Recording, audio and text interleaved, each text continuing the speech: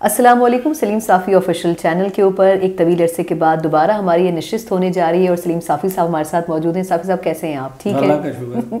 आपने खैर हमें मिस तो नहीं किया होगा हम भी आपके तालब इल्म हैं अदना से। लेकिन कुछ ऐसी डेवलपमेंट्स हुई कि बड़ा दिल किया कि आपके साथ फिर एक नशस्त होनी चाहिए। और उन डेवलपमेंट में से एक बड़ी मज़ेदार चीज़ थी वो ये थी कि हमने कुछ रोज़ पहले खान साहब का एक कॉलम नज़र से गुजरा और वो था रियासत मदीना के ऊपर। तो साफी साहब पहले तो ये बताएँ कि आपकी नज़र से वो मजमून गुजरा है? जी मैं आपकी मुस्कुराहट से पता चल रहा है। कैसे लगा आपको वो मज़बूत? पढ़ने की जो है मैंने मुशक्क़त बर्दाश्त की है। अच्छा। अच्छा ये फरमाइएगा कि आखिर खान साहब का विजन क्या है रियासत मदीना पे? उस पर स्टेप बाय स्टेप भी आते हैं लेकिन आखिर वजह क्या है कि वो इतने दिलदा क्यों है रियासत मदीना के? देखिए एक तो दिलों का हाल तो अल्लाह जानता है हम्म। और मैं उस पर कोई बात नहीं करता। लेकिन एक तो ये तरीक़ा रहा है सालों से कि लोगों को बेवकूफ़ बनाने के लिए मज़हब जो है ये एक टूल के तौर पर भी इस्तेमाल किया जाता है हुक्मरानों ने किया भी है। हम्म।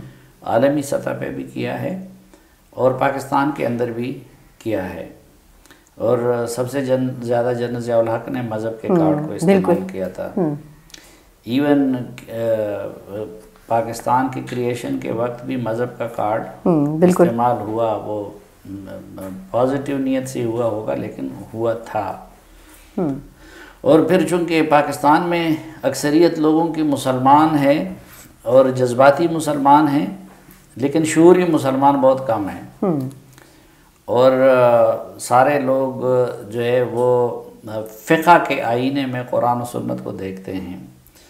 तो जब इमोशनल हम्म। एक हम्म। अकीदे से आपकी अटैचमेंट हो लेकिन उनका शूर ना हो तो फिर उनको एक्सप्लाइट करना बड़ा आसान होता है तो मैं तो अरसे से लोगों को समझाता था कि बेसिकली वो मिकियाविली के हम्म, पैरोकार हैं हम्म। यानी उनके यहाँ नार्सिज्म भी है और हम्म। बाकी चीज़ें भी हैं लेकिन पॉलिटिक्स वो करते हैं उन्होंने मिकियाविली को बहुत पढ़ा भी है और इस तरह के लोगों को भी और वो पॉलिटिक्स खालिश मिकियाविलियन तरीके से करते हैं यानी स्टेट्समैनशिप उनके यहाँ नहीं है या जिसको अंग्रेज़ी में वाइज कहते हैं। लेकिन क्लेवर और डर्टी पॉलिटिक्स हम्म, करने जो मिकाबली की पहचान थी। बहुत ज़्यादा माहिर है। हम्म। दूसरा बहुत सारी चीज़ों से आपको मॉरलिटी रोकती है वैल्यूज़ हम्म। रोकते हैं अकदार रोकते हैं। इमरान खान साहब उस हवाले में बड़े शफाक हैं। रिश्तों के हवाले से भी दोस्तों के हवाले से भी। और हमेशा बस अपनी ज़ात से उनकी ज़िंदगी शुरू होती है उस पर ख़त्म होती है एक टारगेट सामने रखते हैं। तो उस टारगेट के लिए फिर उनको जो कुछ भी करना पड़े वो उसके पीछे पड़े रहते हैं। कंसिस्टेंट है ना लेकिन एज अ टीम प्लेयर तो यही क्वालिटीज होनी चाहिए ना प्लेयर की ना कि। हम तो बहुत सारे काम इसलिए नहीं कर सकते कि लोग क्या कहेंगे। हम्म, मैंने कल हम्म, क्या कहा था? हम्म। रिश्तों का बात पर कायम नहीं रहते बिल्कुल। उसकी होती है। तो वो मसलन अगर फौज को गाली देने की ज़रूरत पड़े तो वो गाली देने में उनको कोई हर्ज नहीं होती। माजी में दी है उन्होंने। वो एक दिन चौधरी शुजात और परवेज लाई को बड़ा चोर कहे दूसरे दिन उनकी ज़रूरत पड़े तो वो उनको गले लगा हम्म, लेते हैं। हम्म। जहांगीर तरीन ने उन पर उम्र भर एहसानात किए होंगे हम्म। लेकिन अगर वैल्यूज़ होते हम तो किसी के साथ एक दिन चाय का कप भी पी लें तो फिर अरसे तक सोचते हैं कि यार उनके बारे में तबसरा करते वक्त हमारी आँखों में हया आता है। ओन चौधरी ने उनकी कितनी खिदमत की थी कितनी सफाकियत के साथ उनका वो कर दिया। फिर ज़ाती ज़िंदगी की तरफ़ तो हम जाना हमारी अपनी वैल्यूज़ हैं। अगरचे उन्होंने हमारी माओ को गालियाँ पढ़वाने में कोई कसर नहीं जोड़ी। हम्म। और उस तरीके से हमें दबाने की कोशिश की। लेकिन हम तो अपने वैल्यूज़ के असीर हैं ना। हम्म। अब उन मामला पे जितने मालूम मेरे पास हैं हम्म। शायद ही किसी के पास हो। लेकिन वो आप शेयर नहीं करते ना आप मुझे अपने वैल्यूज़ रोकती है ना। कि मैं शादी ब्याह और बाकी और मानी का ख़ानदान और इन चीज़ों का ज़िक्र हम्म, करूँ हम्म। बाज़ डर लग जाता है कि कहीं ऐसा ना हो कि मुझे मजबूर किया जाए हम्म। ठीक तो उनके यहाँ ये चीज़ें कोई मैटर नहीं रखती सबसे भी तो आप उनकी जो टाइप ऑफ़ पॉलिटिक्स है ना ये बात कर रहे हैं आप लेकिन ये जो रियासत मदीना है ये क्या उनका बज़ाहिर लोगों को सिर्फ़ दिखाने का मकसद है यानी उन्होंने सिर्फ़ ये लोगों के सामने इमेज रखा या वो एक्चुअली रियासत मदीना के फ़ैन है नहीं अब मैं आपको एक तो ये बताऊँ ना कि मैं फिर ये कहूँगा कि मैं दिलों का हाल ऐसा है कि वो सिर्फ़ अल्लाह जानता है। लेकिन हम तो जो ज़ाहरी आमाल होते हैं ना ये तो इमरान खान साहब ये ज़रूरत कर सकते हैं कि किसी को मुनाफिक कहें किसी को चोर कहें किसी को क्या कहें। लेकिन हमारे दीन ने तो हमें ये नसीहत की है कि मसलन आप किसी के दोगलेपन का ज़िक्र करेंगे लेकिन मुनाफिकत का टाइटल मैं नहीं दे सकता। जब तक नबी करीम सल्लल्लाहु अलैहि वसल्लम पे वही नहीं आई थी और अल्लाह की तरफ़ से हिदायत नहीं आई थी तो वो अब्दुल्ला अपने उबई को टाइटल नहीं दे रहे थे। इसी तरह मैं किसी की चोर की चोरी का ज़िक्र करूँगा लेकिन जब तक अदालत डिक्लेयर ना करे तो मैं उसको चोर नहीं करूँगा। ये तो उनके चूँकि ये वैल्यूज़ नहीं है। हम्म। तो वो महमूद खान की चादर का भी मज़ाक उड़ाते हैं वो किसी को चोर कहते हैं वो हम्म। किसी को क्या करते हैं वो गालम गलूज भी पढ़वाते हैं ये सारी चीज़ें। हम्म। अब पहले ज़रा समझना चाहिए इमरान खान साहब के आइडियोलॉजिकल सफ़र को और उनके नज़रियाती कमिटमेंट या उर्दू वाले सफ़र की बात करें। ठीक है? हाँ। मसलन इमरान खान साहब दौरे जवानी में खुद वो कहते हैं और लिखा भी है उन्होंने कि वो एक इथियस्ट किस्म के हम्म, इंसान थे। हम्म, हम्म। और एक उनकी इस गोल पे नज़र थी कि भाई वो दुनिया का नंबर वन सेलिब्रिटी बन जाए और नंबर वन क्रिकेटर बन जाए। कैप्टन बन सके पहला तो टारगेट यही था उनका। अच्छा उस वक्त वो ऐसे इसके पीछे पड़े हुए थे और दुनिया की कोई और चीज़ उनको नज़र नहीं आ रही थी कि मुझे हफीज़ न्याजी साहब बता रहे थे कि जब उनकी वालदा के कुल था तो कुल वाले दिन वो अपना किट उठा के प्रैक्टिस के लिए जा रहे थे। हम्म। तो फिर लोगों ने उनको मना किया कि यार खुदा के मंदिर लोग हमारा मज़ाक उड़ाएँगे तुम्हारी वालदा की डेथ हुई है। हम्म। हालाँकि उस वालदा के नाम को उन्होंने कितना कैश किया बिल्कुल उनके नाम पे हॉस्पिटल्स खोले बिल्कुल। ठीक। हम्म। फिर जब क्रिकेट से फारिग हो गए अब देखे वो बिल्कुल इमोशनल इंसान नहीं है। वो खालिसतन मटीरियलिस्ट हैं आपके ख्याल में। वो गोल ओरिएंटेड है एम्बिशियस है ठीक है और उस मामले में ब्रूटल है सफाक है। अच्छा ये मिलते जुलते लफ्ज तो रेहम खान साहबा ने भी कई दफ़ा उनके लिए इस्तेमाल किए हैं। अपनी हम्म। किताब में भी और वैसे भी करती रही हैं। हाँ उनका तो फिर अपना एक्सपीरियंस होगा। हम्म। मैं तो अपना जब तौरे तारब इलमी से हम्म। उनको फॉलो कर रहा हूँ उनको स्टडी कर रहा हूँ। मसलन उनकी एक मैं आपको मिसाल देता हूँ। मैं जब ये इनकी पार्टी बन रही थी और उस पर मशावरत हो रही थी कि उनकी पार्टी बने या ना बने तो मैं डॉक्टर फारूक ख़ान साहब अल्लाह बख्शे मेरे बड़े भाई भी थे तो मैं उनके साथ चला जाता था। हम्म। उस वक्त मैं स्टूडेंट था दुबला पतला भी था। और आप तो खामोशी से कोने में बैठे रहते कोने थे। बैठे सुना मैंने भी यही था। तो मोहम्मद अली दुरानी होते थे हम्म। जावेद अहमद गामदी के घर पे नशिस्त हम्म। होती थी। तो उस वक्त ये जावेद अहमद गामदी की बिल्कुल नवजुबिल्ला यानी हम्म। बस उन्हीं को सब कुछ मानते थे। हम्म। क्योंकि पंद्रह बीस दिन उससे पहले ये उनके पास आते थे दीन का लेक्चर हम्म। सुनने के लिए और उनसे कहते थे कि जी बस एक आप ही हैं क्योंकि उससे पहले ये डॉक्टर इसार अहमद और तारुकादरी उनके पास गए थे। तो ये कहते थे कि मुझे आपके सवालात ने दीन के बारे में मुतमिन किया। अब कब की बात कर रहे हैं आप? ये 96 की जब पार्टी बनने से पहले की बात है। यानी वर्ल्ड कप के बाद? हाँ। क्रिकेट के बाद। और मैं उस वक्त स्टूडेंट था तो मैं कोने में बैठा होता था ये मुझे नहीं जानते थे जनरल अमीद गुल मुझे नहीं जानते थे वो कहते थे डॉक्टर फारूक का भाई है या बच्चा है आया है कोने में हम्म, बैठा है हम्म। क्योंकि वो छोटी सी बैठक हम्म। थी वो सब नशस्तें मेरे सामने होती थी। तो और हम तो उस वक्त इसको एक फ़ैन की नज़र से देखते थे और फिर हमने स्कूल के ज़माने में सातवीं जमात से पॉलिटिक्स भी की थी तो हमारे अंदर तो वो जरासीम थी। तो मैं तो थारूली वो देखता था। तो उसमें मतलब मैंने पहली चीज़ देखी कि ये डिसाइड हो गया कि जावेद गांधी साहब इनको पॉलिटिक्स से रोकते थे हम्म। और वजह क्या डॉक्टर फारूक साहब वो ये कहते थे कि भाई तुम इस चीज़ के लिए बने ही नहीं हो और इस हम्म। मुल्क में सियासत की नहीं यहाँ यूनिवर्सिटियों की ज़रूरत है यहाँ कॉलेजेस की हम्म। ज़रूरत है यहाँ हॉस्पिटल की ज़रूरत है तुम्हारे अंदर स्टेम ना आए क्रेजमा आए तो तुम ये बना सकते हो तो आप कौम की तामीर करें। और ये हम्म। सियासतदान तो बहुत सारे हैं और तुम्हारा मटेरियल सियासत के लिए बना ही नहीं है। हम्म। लेकिन डॉक्टर फारूक और हमीद गुल और इन लोगों का ख्याल था कि भाई इनके पास क्लाउड है और करिश्मा है फॉलोइंग और इनका जहन पे हम्म। कोई नज़रिया नहीं है तो हम इसको अपने नज़रियात के मुताबिक डाल देंगे। तो वो मेरे सामने ये हुआ कि डिसाइड हुआ गया कि पार्टी में इन दोनों में से एक चेयरमैन होगा। हमीद गुल और इन और खान साहब में से। और दूसरा जो सदर बनेगा। हम्म। लेकिन जब जनरल हमीद गुल रुखसत हो गए तो उन्होंने फिर ये मोहम्मद अली दुरानी ये सब इसके विटनेस है। आ, तो उन्होंने कहा कि अच्छा इस तरह करेंगे कि पार्टी उस वक्त अनाउंस करेंगे कि जनरल हमीद गुल मुल्क से बाहर हो। हम्म। यानी उनको ही रस्ते से हटा दिया। पहले दिन धोखे से आगाज़ हम्म, किया। हम्म। तो वो ऐसा ही हुआ कि जनरल हमीद गुल कहीं बाहर चले गए इन्होंने पार्टी अनाउंस करी। वो वापस आके रोता रोता पीटता है जावेद गामदी वगैरह के पास आ गया कि इन्होंने मेरे साथ क्या किया। अच्छा, यानी आप कह रहे हैं कि एक्चुअली लाने वाले खान साहब को ये तमाम लोग थे। हाँ। खान साहब खुद चाहते थे इनको सियासत के रास्ते पे लगाने में देखें कि एक इनके बिल्कुल इमोशंस नहीं है। मसलन कितनी पाकिस्तानी खातन थी हम्म। जो उनसे शादी की ख्वाहिशमंद थी। सिर्फ़ पाकिस्तानी साफी साहब? ठीक है? बस वो आप भी बेहतर जानते हैं। लेकिन उन्होंने शादी की अकल की बुनियाद पे हम्म। कि गोल्डस्मिथ की फैमिली हो हम्म। उसके साथ पूरा दौलत भी हो और हम्म। उसकी वजह से मुझे लेकिन फ़ायदा तो नहीं उठा सके ना या उठाया आपके ख्याल में? खैर ये एक अलग डिबेट है। एक अब फिर जातियात में हम नहीं जाना चाहते लेकिन अभी भी देखें उनके बच्चों का मुस्तकबल तो सेफ़ है ना। बिल्कुल।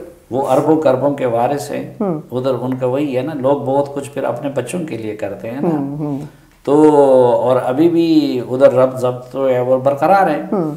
तो ये सारी चीज़ें जो है ना उसने अकल से फैसला किया। हम्म। फिर उन्होंने बड़ी खूबसूरती के साथ क्रिकेट मैच सब लोगों ने मिल के जीता था ना। हम्म। ये कोई कुश्ती का खेल तो नहीं है कि एक बंदा का कारनामा हो। लेकिन किस तरीके से उन्होंने उस पूरी जीत को अपने नाम कर लिया। वन मैन शो बना दिया। फिर उसको इस्तेमाल किया हॉस्पिटल के लिए और हॉस्पिटल हम्म। को फिर इस्तेमाल किया सियासत के लिए। हम्म। तो मैं इसलिए ये कहता हूँ कि इमरान खान पूरा इस दौर का मीकाविली है। हम्म। ये लोग बहुत खुद बेवकूफ़ हैं जो इमरान खान साहब को सादा समझते हैं। तो खैर मैं असल में उस पॉइंट पे आता हूँ। अब जी उस वक्त डॉक्टर जावेद गांधी साहब के पैरोकार थे। बिल्कुल। और उनसे ये कहते थे कि दीन के बारे मेरे सामने ये बात हुई है। कि जी मैं तो देरी था मैं तो एथियस था दीन के बारे में सारे इश्काल आपने मुझे दूर कर हम्म। दिए लेकिन अब जावेद गांधी साहब का तसव्वुफ के बारे में बहुत सख्त नज़रिया है हम्म। यानी वो तसव्वुफ की इन शक्लों को मानते ही नहीं हैं हम्म। तो उसके बाद फिर कुछ अरसे बाद ये उनसे भी क्योंकि वो इनकी मर्ज़ी की बात नहीं करते थे और अभी ये जो इनकी शख्सियत का तजिया हुए तो उसमें ये बात है कि उसमें जो एनार्सिज्म है और ये चीज़ें हैं तो उसकी वजह से वो उस बात को मुखालिफ नुक़ नज़र को मानते ही नहीं हैं उसको हम्म। सुनना ज़्यादा गवारा नहीं करते। तो कुछ अरसे बाद जावेद गांधी भी उनके लिए बोझ बन गए। हम्म। फिर अगर ये तो हाथ कमाना तर्ज अमल हुआ ना। हफीज न्याजी हम्म। इब्तदाई उनके उम्र में भी बड़े थे सियासत में भी लगाया था ग्रूम भी किया था वो भी उनके लिए बोझ बन गए क्योंकि वो उनको अकल की बात कहते थे। या उनकी मर्ज़ी के खिलाफ। उसके बाद ये इस तरफ़ आ गए। तो इनका पहला पीर मौलाना अकरम आवान था। हम्म। ठीक है? अब कुछ अरसे उनके रहे। ये कहाँ से ताल्लुक रखती थी ये शख्सियत? ये यहाँ सेंट्रल पंजाब से हम्म। ताल्लुक रखते थे और बड़े अच्छे मुकर थे और उसके हम्म। फिर कुछ अरसे बाद जो सलाहुद्दीन है हिजबुल मुजाहिदीन अब बिल्कुल अमीर है। बिल्कुल। तो उनके ये मुरीद बन गए। उनके आ, इतनी कंट्रोवर्शियल शख्सियत होने के बावजूद। और फिर हालाँकि एक तरफ़ वो जिहादी शख्सियत हम्म, बिल्कुल बिल्कुल। लेकिन उनका भी एक रूहानी पस मंजर है। हम्म। फिर उसके बाद जब इनको पता चला कि जी जनरल रफ़ीक वो जो रफ़ीक अख्तर साहब है हम्म। तो वो जनरल कियानी के बहुत करीब थे और हारून रशीद साहब के भी बड़े दोस्त थे। तो ये रफ़ीक अख्तर साहब के साथ जुड़ गए हम्म। और उनके मुरीद बन गए और उनका हर वक्त वो तस्करा करते थे। यानी ये जो पीरी मुरीदी का फैक्टर है ये शुरू से इनके करियर का हिस्सा रहा है जो मैं समझी हूँ नहीं मैंने आपको बताया ना हम्म। कि शुरू में तो इतिज़म हम्म। फिर जावेद गामदी का दूसरा एक्सट्रीम पॉलिटिक्स में आने के बाद। और फिर उसको जब यहाँ पे ये हुआ ना तो उसको भी वो इनसे जोड़ते थे। जब उनको पता है कि जनरल कियानी साहब का और रफ़ीक अख्तर साहब की बड़ी गुर्बत है तो उन्होंने हम्म। अकरम रवान और उनको छोड़ के हम्म। रफ़ीक अख्तर साहब को अपना पीर बना लिया। हम्म। ठीक है? और आखिर में फिर जो कुछ है तो बस वो कुछ जातियात के मामले में आता है तो इसलिए हम उस पे उस तरफ़ नहीं आखिरी जो पीर है उससे पहले तक यही थे। उनसे इनका रबता करवाया था ओन चौधरी ने। उनसे किन से? ठीक है? बुशरा बीबी से। अच्छा मैं ये पूछ रही हूँ जो आखिरी है उनके बाद यही है। हाँ पहले हम्म। उनके साथ ओन चौधरी का जाना था। और फिर उनका अंजाम ये हुआ कि जिस दिन ये प्राइम मिनिस्टर बने तो उनके ईमा पे इमरान खान साहब ने एमएस को पहला ऑर्डर ये दे दिया था कि इनको करीब ना आने दे। अच्छा अब ये तो ओन चौधरी साहब को। ओन चौधरी साहब को ठीक है? अब पहली बात तो ये है कि रियासत मदीना क्या आगाज़ किस चीज़ से हुआ? पहला स्टेप उसका क्या था? जब नबी करीम सल्लल्लाहु अलैहि वसल्लम ने यहाँ पे आए तो पहला काम ये था कि मवाख़ात से आगाज़ हुआ। मवाख़ात ये था कि मेरे पास अगर घर है तो मैंने घर दूसरे महाजर सहाफ़ी के सहाबी के साथ आधा आधा कर लिया। हम्म। मेरे जो वसाइल हैं वो मैंने आधे कर साथ आधे कर लिए। हम्म, शेयर किया हद तक कि अगर किसी की दो बीवियाँ थी तो उसने एक को तलाक दे के महाजर जो सहाबी आया हुआ था वो उन्होंने उनके साथ निकाह कर दिया। हम्म। नंबर वन यहाँ पे वो कितने सौ कनाल के उसमें बैठे हुए हैं। ठीक? और दूसरी तरफ़ इसी इस्लामाबाद की झोंपड़ियों की हाल देखें। फिर आपको याद होगा आज़म स्वाति का एक वाक्य आया था। बिल्कुल। और जिसमें उन्होंने उस गरीब खानदान के साथ क्या कुछ हम्म, किया था? बिल्कुल हम्म। उसको किसने प्रोटेक्ट किया? हम्म। उसको इमरान खान साहब ने प्रोटेक्ट किया। ठीक? तीसरी बात ये थी रियासत मदीना क्या थी? रियासत मदीना ये थी कि नबी करीम सल्लल्लाहु अलैहि वसल्लम ने ऐसे साहिब किरदार लोगों की टीम तैयार की। जिसमें हज़रत अबू बकर सिद्दीक हज़रत उमर फ़ारूक हज़रत उस्मान गनी हज़रत अली करीम हो कि वो मिसाली किरदार के लोग थे हम्म। आपने अपने टीम के इसको जमा किया यानी कम अज़ कम जो मौजूदा मायारात है ना हम्म। उसके मुताबिक तो चलो आप अपनी टीम में मुफ्ती तकी उस्मानी को करते हम्म। आप अपनी टीम में जो है खुद अपने महबूब मौलाना तारिक जमील को बाकी लोगों को। अगर रियासत मदीना हाँ, को फॉलो करना ठीक है। तो। हम्म। आपने टीम में शामिल किया हम्म। अपने फवाद चौधरी को हम्म। शहबाज गिल को ठीक है खसरो बख्तियार को। ये सारे जो अजीब व गरीब वो हैं और जिनका इन चीज़ों से कोई दिलचस्पी नहीं है। तो एक तो वो टीम लेकिन मुल्क चलाने के लिए प्रोफेशनल्स की तो ज़रूरत होती है ना साफी साहब। बिल्कुल नॉन प्रोफेशनल लोग तो नहीं लिए जा सकते। जो रिलीजियस लोग हैं जिनके आप नाम ले रहे हैं वो रिलीजन के ऊपर तो एक्सपर्टीज रखते हैं। लेकिन कार्य सरकार के लिए तो वो लोग नहीं तो ना सबसे पहले तो देखिए दूसरी बुनियाद उसकी क्या थी? हम्म, हम्म। दूसरी बुनियाद उसकी ये थी रियासत मदीना की कि उन्होंने कहा कि कल तक जिसने जो कुछ किया है वो माफ़। हम्म। ठीक? और मसलन जिसने हुजूर सलम के चचा के उसको निकाल के चबाया हुआ था उसको भी माफ़ी मिल गई। कलेजे को बिल्कुल। उन्होंने कहा कि भाई कल तक सबके माफ़। आज के बाद अब सुफियान के घर में जो जाएगा उसको अमान मिलेगी फतेह मक्का के बाद भी। हम्म, ठीक? हम्म। लेकिन उन्होंने कहा आज से एहतसाब होगा। हम्म। और एहतसाब शुरू होगा हुक्मरान से। तो अमीरमिन हर जुम्मे को खुतबा देते हम्म। और अपने आप को पेश करते एहतसाब के लिए। ये जुम्मे का खुतबा जो है ये बुनियादी तौर पर हुक्मरान का मैंडेट है। ये हम्म। किसी मौलवी का नहीं है। ये तो बाद में उस रवायत को ज़िंदा रखने के लिए कि जब हम्म। हुक्मरान इमरान खान जैसे हो गए। तो इधर क्या हो रहा है? इधर जावेद हाशमी ने कहा कि भाई ये अच्छा नहीं है कि हम पीटीवी पे हमला करें। उसकी छुट्टी करा दी। ठीक? जहांगीर तरीन जैसे आदमी से कोई बंदा नाराज़ हो गया उसकी छुट्टी करा दी। इधर ये होता है कि आप नूर आलम खान एक जेनवन अवाम का मसला वो उठा लेता है उसको शोकाज नोटिस मिल जाता है उसको उससे निकाल दिया जाता है। यहाँ पे एहतसाब आपके तमाम अपोजिशन का हो रहा है।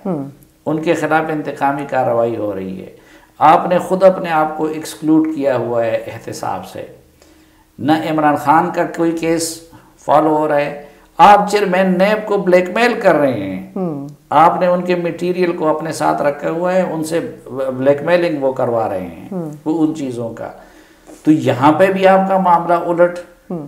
कि वो खुलफा राशिदीन तो क्या कि मौजूदा महजब दुनिया के हुक्मरानों के रवैये के ख़िलाफ़ फिर अभी तो इसको हम सिर्फ़ और सिर्फ़ जब मुश्किल वक्त आ जाता है हुक्मरानों पे हम्म। तो वो फिर मज़हब की आड़ ज़्यादा लेना शुरू कर देते हैं तो कोई चीज़ इस मुल्क में आपकी रियासत के मशाबा नहीं हो रही मतलब उस रोज इन्होंने जो आर्टिकल लिखा हुआ है हम्म। ठीक है उस आर्टिकल में हम्म।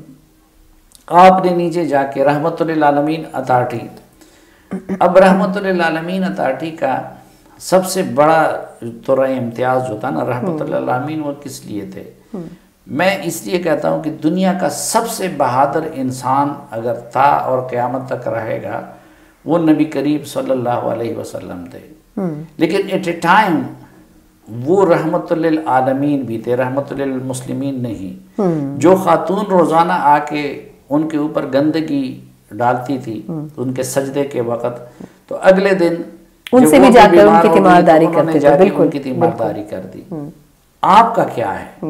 आप अपने जो अपोजिशन के लोगों के साथ क्या जो गैर मुस्लिम नहीं है जो इस मुल्क के शहरी हैं जो आपकी तरफ़ के सिस्टम के हिस्से हैं आपने जाके उन सबको आप घेर रहे हैं हम्म।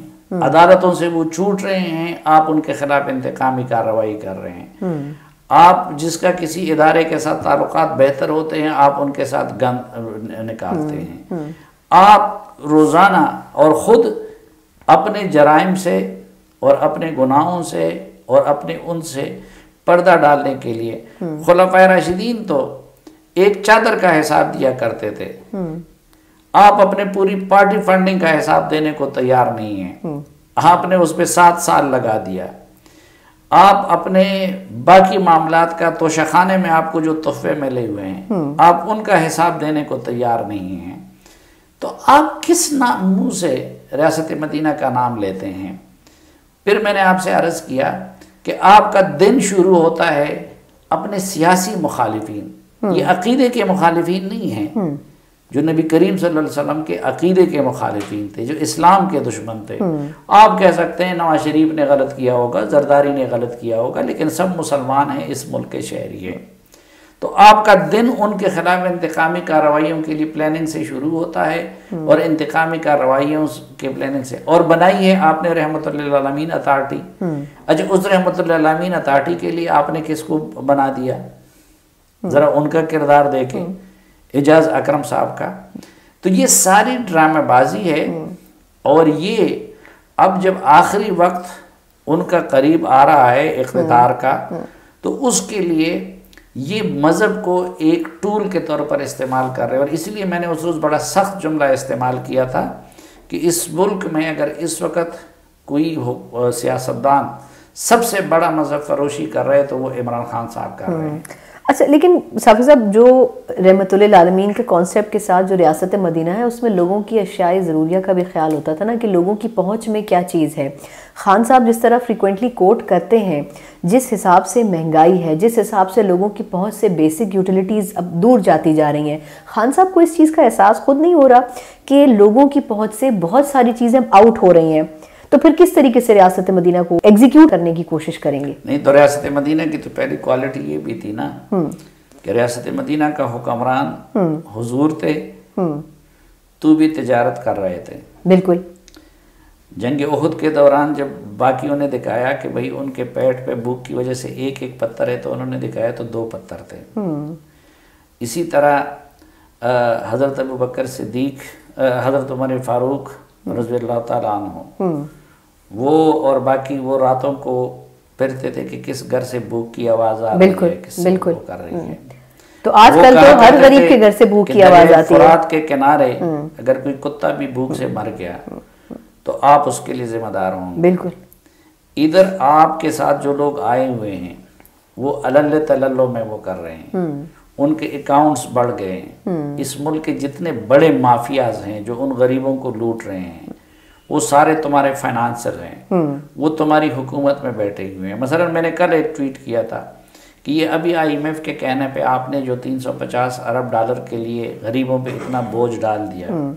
आपने उनकी दवाइयाँ महँगी कर दी। हम्म। आपने उनकी बुनियादी ज़रूरत बिजली गैस पानी जो बेसिक रिसोर्सेज हैं। वही उनकी पहुँच से बजाय आप अगर सिर्फ़ सिगरेट्स पे वो रेशो कर ले टैक्स का जो इंडिया में है तो आपको इससे कई गुना ज़्यादा रकम मिल सकती है। लेकिन आप क्यों नहीं कर सकते? क्योंकि सिगरेट माफिया का मेरे इलाके के हैं ना। तमाम के तमाम। पिछली हुकूमतों में दूसरी पार्टी वो इमरान खान साहब के साथ हैं। वो सब इमरान खान के फाइनेंसर हैं। वो सब इमरान खान साहब ने उनको सेनेटर बना दिया अपने लोगों को छोड़ दिया। आप उनके खिलाफ पॉलिसी बना सकते हैं। फिर मल्टीनेशनल हैं। उन सब के नुमाइंदे आपने उधर बिठाए हुए हैं। अच्छा दरिया फरात तो दूर की बात है। आपसे जो है चालीस किलोमीटर के फासले पे। तुम्हारी नाअहलियों से तुम्हारी गलत मैनेजमेंट से मरी में कितने लोग लुकमा अजल बने? आपने किससे पूछा? इसी इस्लामाबाद से कानून का मुहाफिज ताहिर दावड़ उठाया गया था। आज तक आपने उसकी इंक्वायरी तक कर ली। तो यानी हज़ारों मिसालें हैं। अमल बिल्कुल उलट। तो आपके ख्याल अमल ऐसा है कि जिसमें अशरफ गनी भी शर्मा जाए। और नाम आप ले रहे हैं रियासत मदीना का। तो मुझे तो ये रियासत मदीना के मुकदस लफ्ज़ का बड़ा इस्तेसार नज़र आ रहा है। और मैं हैरान हूँ कि ये जो लोग हैं मौलाना तारिक जमील साहब हो गए हैं हमारे ये जो बड़े मशाइ हैं और हमारे क्योंकि आम आदमी मामूली सी हरकत करे। तो उसके खिलाफ तो कुफर के बतवे और उनका जीना हराम हो जाता है। और इधर रियासत की सतह पर रहमत आलमीन वसल्लम के नाम को भी मिसयूज किया जा रहा है। और रियासत मदीना के मुकदस नाम का भी इस्तेसाल हो रहा है। और ये लोग उस पर खामोश हैं। तो साफी साहब इसका मतलब ये समझा जाए कि जो रियासत मदीना का कार्ड खान साहब इस्तेमाल कर रहे हैं वो सक्सेसफुल नहीं हो सकेगा। उनको अब लग रहा है कि उनकी कश्ती डूब रही है तो वो आखिरी तो आखिरी हरबा ये इस्तेमाल कर रहे हैं। नहीं देखें यहाँ पे सिर्फ़ लोग जो है ना कौल को भी नहीं देखते हैं। हम्म। अमल को भी देखते हैं। अमल क्या है? हम्म। फिर दूसरी बात यह कि टीम क्या है? हम्म। आ, उसको भी लोग देखते हैं। फिर ये कि तुम्हारे इस पूरे ढांचे की बुनियाद वो धोखे पे कड़ी है। इलेक्शन फ्रॉड था। इलेक्शन से पहले लोगों के हाथ मरोड़े गए आपकी पार्टी में शामिल करवाए गए। इलेक्शन के फंड्स में अब साबित हो गया अदालतों से कि आपके माजी के उसमें गपले हुए हैं। गपले हम्म, हुए हैं। हम्म। नाजायज़ तरीके से दौलत कमाने वाले लोगों का पैसा इधर इस्तेमाल हुआ है। हम्म। ठीक। मेरिट पे इलेक्शन नहीं हुआ है। फिर आपकी मेरिट पे काबीना नहीं बनी है हम्म। फिर तीन सालों में इस जानब आपने रत्ती भर पेशरत नहीं की है मसलन जिस हस्ती का आप नाम ले रहे हैं हम्म। रियासत मदीना का आप पहले शख्स वो कहते हैं उनका कुरान में है वला तनाबजू बिलकाब अलकाब से ना पुकारो हम्म। आपने किसके लिए लकब नहीं ढूंढ रहे हैं किसी को चोर हम्म। किसी को मक्कार हम्म। किसी को क्या किसी को क्या, और बगैर सबूत के इल्ज़ाम भी खान साहब की आदत बन गई है। दूसरी बात वो ये कहते हैं कि या अयुहल्लजीना आमनु इन जा अकुम फासिकुन बिनबाइन पतबयनु आपके पास कोई खबर आए और फासिक खबर लेके तो उसकी तहकीक करो। हम्म। आपने कितने लोगों के खिलाफ बगैर तहकीक के इल्ज़ाम लगाए? केसेस बनाए। उनको बदनाम किया उनको रसवा किया इस वक्त आपके खिलाफ कितने हद तक इज़्ज़त के वो, वो वो मामला जारी। हैं फिर उस रहमतमीन सल्लल्लाहु अलैहि वसल्लम की हदीस है। कि काला अरबन मन कन फ़ी कान मुनाफ़िकन खालिसन व मन कानत फ़ी खसलत मिन हन कानत फ़ी खसलत मिन नफाक वज़ा हदसा कज़बा। कि चार उन्होंने निशानियाँ बयान की हैं मुनाफिकी कि। जब वो बोलता है हम्म। तो झूठ बोलता है। हम्म। कितने झूठ बोले इन्होंने? हम्म। दिन रात सबको सुबह इजलास होता है तर्जुमानों का उनको झूठ बोलने की तनकीद की जाती है। फिर वो कहते हैं वह इज़ा ख़ासमा। तो वह जब वो लड़ाई करते हैं तो गाली देते हैं। गालियों का रिवाज किसने दिया? आपने दिया। तो फिर वो ये कि वैज़ा आहद गदरा जब वादा करता है तो वो तोड़ देता है। हम्म। आपने करोड़ों घरों की वादा किया था पूरा किया? हम्म। आपने करोड़ों रोजगारों का वादा किया था पूरा किया? हम्म। आपने जो है बाकी जितने वादे किए थे इंसाफ के आपने पूरा किया? आपने कहा था मैं वज़ीर अजम हाउस में नहीं रहूँगा। आप वज़ीर अजम हाउस में नहीं रह रहे हैं।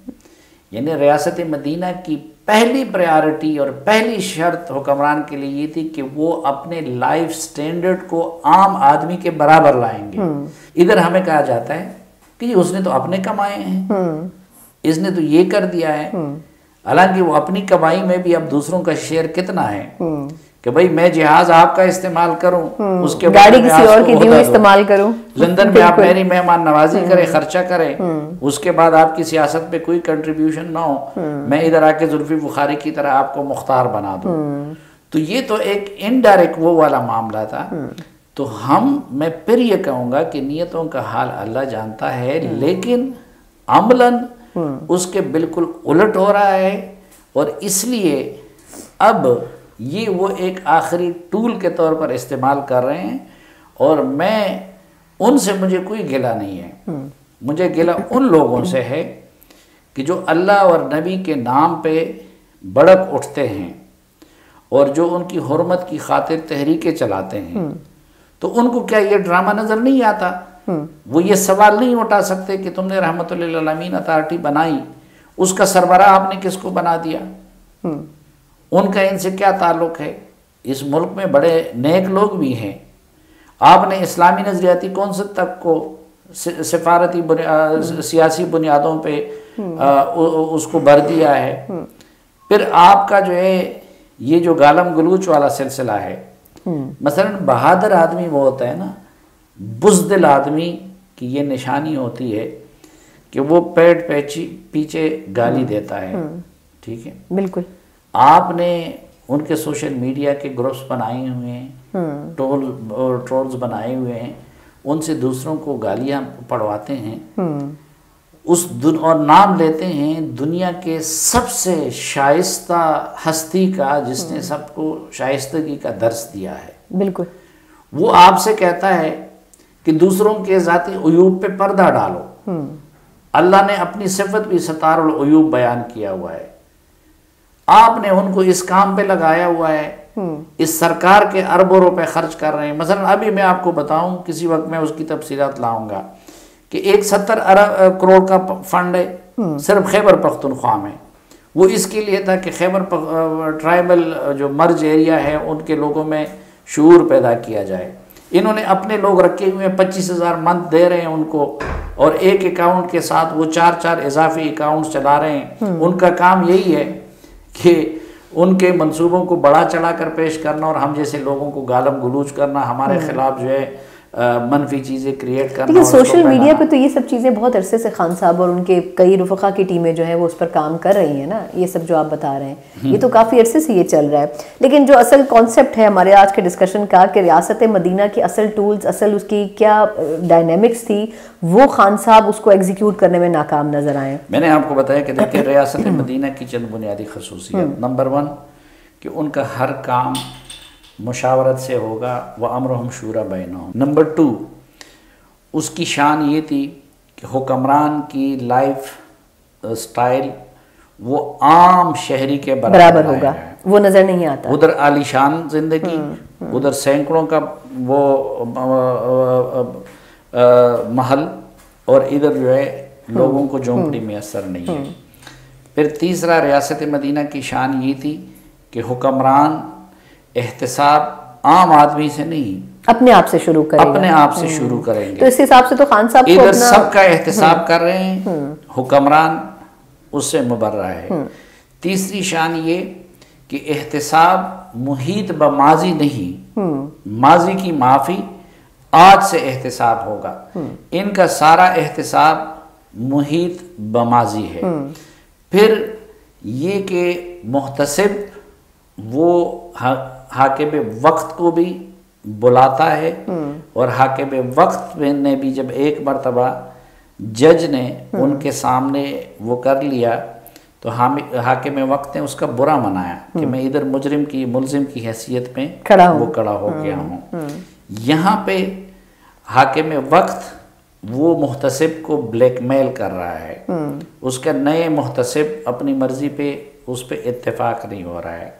रियासत मदीना की शान ये थी कि दरियाए फ़रात के किनारे भूख से बंदा मर जाए तो हुक्मरान कहते हैं मैं उसके लिए ज़िम्मेदार हूँ। यहाँ सैकड़ों मिसिंग पर्सन हैं माएँ रो रही हैं बेटियाँ रो रही हैं ठीक? ये वाकयात मरी और इस तरह के वो तो रोज़ का मामूल बन गया है। हम्म। फिर रियासत मदीना के हुक्मरान का शान ये था कि एह दिन सरातमस्तकीम सरातलजीना नाम तम गैरमकदूब आमीन। कि वो सरात मुस्तकीम पे गामजन रहेगा कट गए हैं अम्बिया मर गए हैं अम्बिया लेकिन उन्होंने सरात मुस्तकीम से इधर उधर होना नहीं किया बिल्कुल। इधर यू टर्न वो अपनी सादत समझते हैं। हम्म। तो मैं आपको हजारे मिसालें दे रहा हूँ कि अमलन जो कुछ हो रहा है वो रियासत मदीना का उलट है। और रियासत मदीना को लाने वाले के खिलाफ है।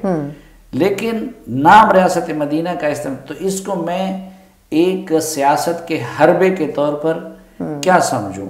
और एक इस चीज़ पे मेरा ईमान भी है। देखिए गुनागार हम सब हैं।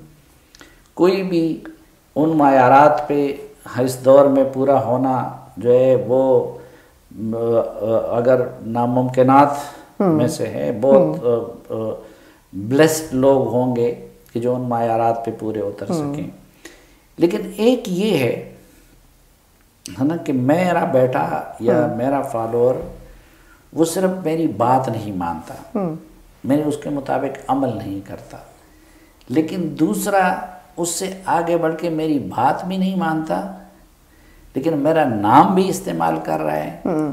ठीक है मेरे नाम पे ज़ाती फ़ायदे भी वो ले रहा है तो मेरा ज़्यादा गुस्सा किस पे होगा ऑब्वियसली दूसरे पे दूसरे पे होगा हम्म।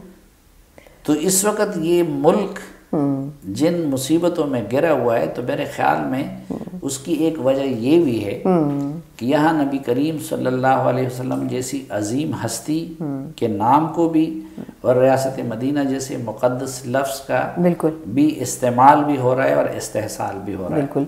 बहुत शुक्रिया साफ़ी साहब आपका, और जिस तरीके से आपने आखिरी चंद मिनटों में जो रियासत मदीना की पूरी पिक्चर हमारे सामने रखी है, ये फैसला हम आवाम के ऊपर छोड़ते हैं कि वो तमाम जो पॉइंट्स हैं, वो तमाम जो करेक्टरिस्टिक्स हैं रियासत मदीना की, वो आज आपको अपने इर्द गिर्द किस हद तक नज़र आती हैं। मुझे इजाज़त दीजिए। अल्लाह हाफिज़।